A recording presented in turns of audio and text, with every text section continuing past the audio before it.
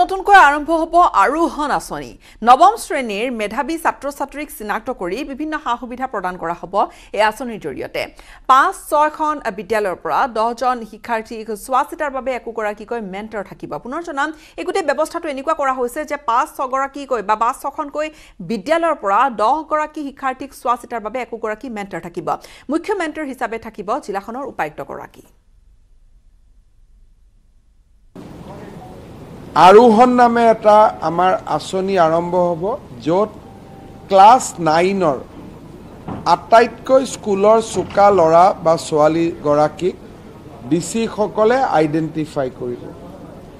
আৰু সেই ছোৱালী বা ল'ৰাজনক একো একোজন পাঁচজন বা ছয়খন স্কুলক একলগ কৰি যি দহগৰাকী ষ্টুডেণ্ট আহিব সেই দহগৰাকীক একো একোজন মেণ্টৰৰ সৈতে সংলগ্ন কৰি দিয়া হ'ব। তেওঁ ডি চি নিজেও হ'ব পাৰে অফিচাৰ এজন হ'ব পাৰে অধ্যাপক এজন হ'ব পাৰে স্কুলখনৰ প্ৰাক্তন ছাত্ৰ হ'ব পাৰে। আৰু এই দহগৰাকী ছাত্ৰ বা ছাত্ৰীক গাইড কৰাৰ দায়িত্ব মেণ্টৰজনৰ হ'ব। আৰু চিফ মেণ্টৰ হিচাপে থাকিব ডি চি ডি চিয়ে তেওঁলোকক তিনি মাহৰ মূৰত এদিন লগ পাব। বছৰৰ বছৰত তেওঁলোকক এবাৰ গুৱাহাটীলৈকে লৈ যাব ডিব্ৰুগড়লৈকে লৈ যাব।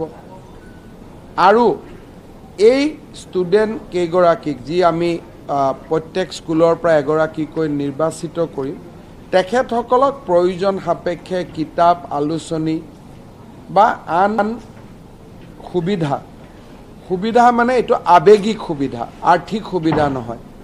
যিখিনি আমি ক'ব গ'লে যে আমাৰ কিতাপ আছিলে কিতাপ দিলোঁ ঘৰৰ পৰা এখন আমি মেগাজিন আনি দিলোঁ আৱেগিক সুবিধা দিয়াৰ এটা যি আঁচনি আৰোহণ সেই আঁচনিটো আমি আৰম্ভ কৰিম। তাৰ বিষয়েও জিলা উপায়ুক্ত সন্মিলনত পুংখানুপুংখভাৱে আলোচনা হয়।